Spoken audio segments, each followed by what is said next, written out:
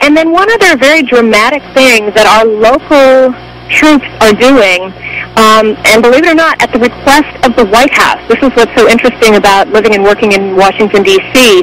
The mayor called upon the Army National Guard to do several things, and the White House also called out the D.C. Air National Guard.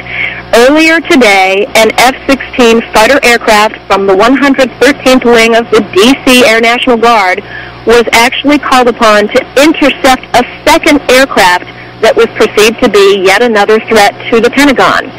Um, they aren't giving any details as to exactly how they deterred that plane.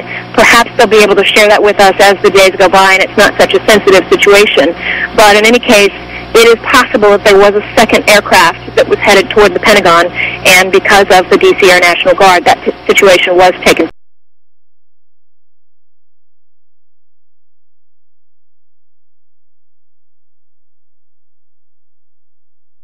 imagine the kind of world we would face if the people who bombed the Vestfall in Mosul, or the people who did the bombing in Spain, or the people who attacked the United States in New York, shot down the plane over Pennsylvania, attacked the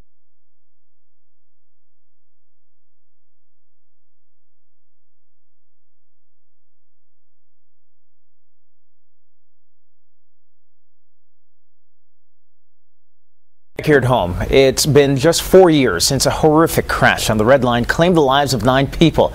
Tonight, many family members and friends gathered at a candlelight vigil to remember the lives of those killed. ABC 7's Roz Plater was there. Well, that vigil was held here on the New Hampshire Avenue Bridge, which overlooks the crash site. It is a place of healing for those families. You see, they have left uh, some flowers and pictures of their loved ones, but as you'll also hear from them, four years later, their pain is still fresh. It's kind of still sad. It's still there. Rush hour, June 22nd, 2009. Two Red Line Metro trains collided near the Fort Totten stop. Nine people died 80 were injured in the deadliest crash in Metro's history. These anniversaries have become a way to seek closure. So this is a healing process for me. It it just helps to embrace the other families, to get to know what they're doing, what their struggles are. But closure isn't easy for Claire Wherley. Her brother, Major General David Wherley, and his wife Anne were headed home after volunteer training at Walter Reed to help wounded soldiers.